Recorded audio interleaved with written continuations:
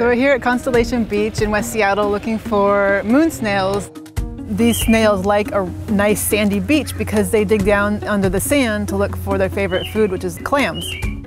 So moon snail itself is actually quite hard to find, but there are lots of signs of moon snails that you can find around on the beaches. And so here's one clamshell that has been preyed on by a moon snail.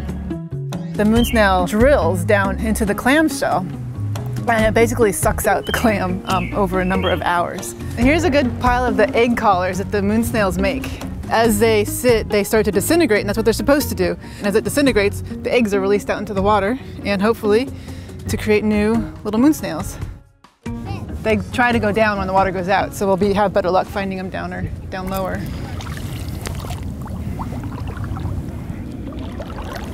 Here's one. So I think what we have here is a moon snail actually laying eggs. So most of it's under, under the sand, but this little bit, it's attached. That is so cool. It was moving, you can see it moving.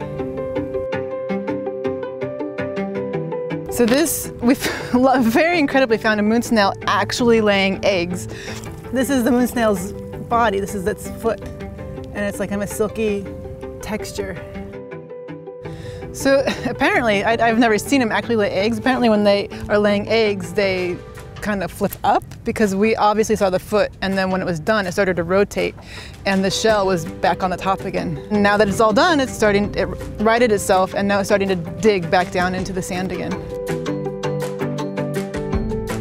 In Seattle, we, are just ridiculously lucky because we have so many different habitats from forests to wetlands to the beach. We can have a sighting of an orca one day, we can have octopus, we can have nudibranchs. There's just so much to discover and, and it's just so much fun.